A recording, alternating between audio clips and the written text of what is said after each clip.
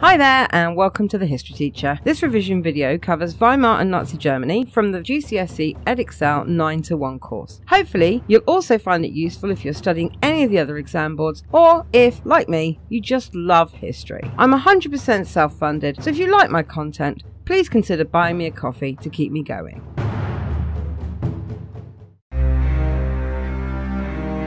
Stresemann's economic and foreign policy changes of the 1920s led to a time of important changes in politics, culture, and living standards for German people. As the German economy improved, people found they had more disposable income and work conditions were improved for many. Women also benefited from the changes, especially in the political structure, and as the financial hardships retreated, people had more time to focus on art, cinema, and architecture.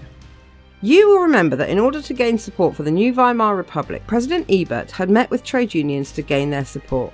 This policy of working with the trade unions led to important changes in working and living conditions.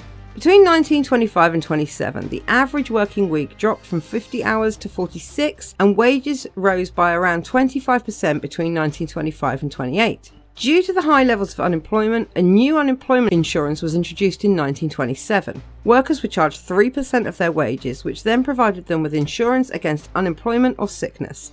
Additionally, from 1925 to 29, 37,000 new homes were built by private companies and a further 64,000 homes were built by a government scheme. This helped to ease the housing shortage and meant many Germans had new homes with modern facilities including indoor plumbing. Further improvements were made for those who had been injured during World War I when a veteran's pension was introduced in 1920, which not only supported veterans but widows and children also. Finally, the education system began to offer more opportunities to young people who wanted to attend university, and the number in higher education increased by nearly 60% by 1928. On the whole, these changes were popular but big business was not happy as they saw the working changes as government interference in what they saw as their right to set wages and working hours. It also upset the lower middle classes because they saw the policy changes as focused on the working class and felt they had been ignored.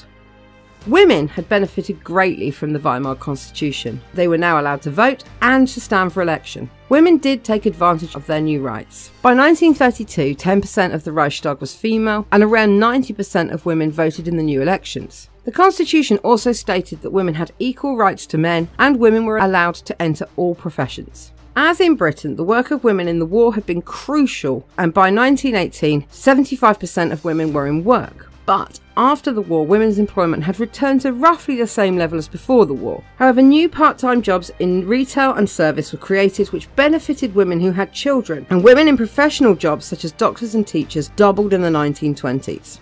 Not everything was good though. Women were paid on average 33% less than men, and women were still expected to give up work when they got married. For some women, especially young women living in the cities, the improvements brought exciting changes. They had more disposable income, which meant they could buy clothes, makeup, and jewellery. The fashion was to cut their hair short, and hemlines were rising. Women could smoke and drink and go out unaccompanied. Some women felt free and embraced the new opportunities. However, the changes for women were not popular with everyone. The birth rate was falling and the divorce rate was increasing, which some were horrified at because they saw a woman's role as that of a wife and mother. Some men saw the new jobs and financial freedom for women as a threat to their own role in society. Some people even blamed the economic problems of the 1920s on women for upsetting the economic balance.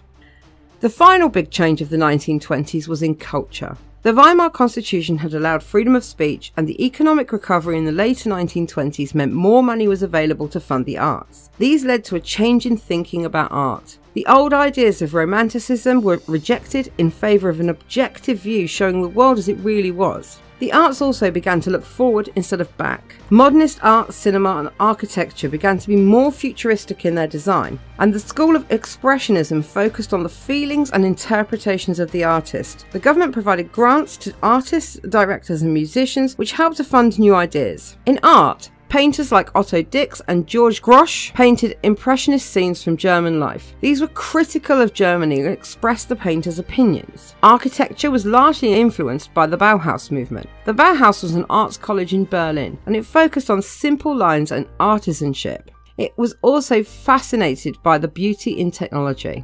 Erich Mendelsohn was influenced by this thinking when he designed the Einstein Tower, which was an observatory shaped like a rocket. Finally, cinema was a new and exciting medium which also took off in Germany. Directors received government funding, and one of the world's first horror movies, The Cabinet of Dr. Caligari, was made in Germany. Perhaps the most famous German movie of this period is Metropolis, directed by Fritz Lang, a science fiction movie which looked with optimism at the technological changes the 20th century would bring.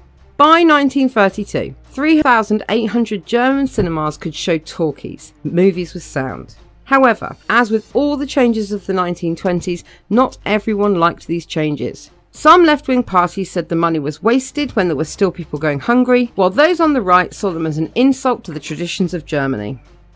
Okay, that is everything you need to know about the cultural and political changes of the 1920s. Don't forget, you must like and subscribe and leave me a comment because YouTube loves these things and I love to hear from you. And I always reply to you as quickly as I can. And I am 100% self funded, so please don't forget if you like my content, I would really appreciate if you buy me a coffee to keep me going. The link is in the description, and that is everything for today, and I will see you next time.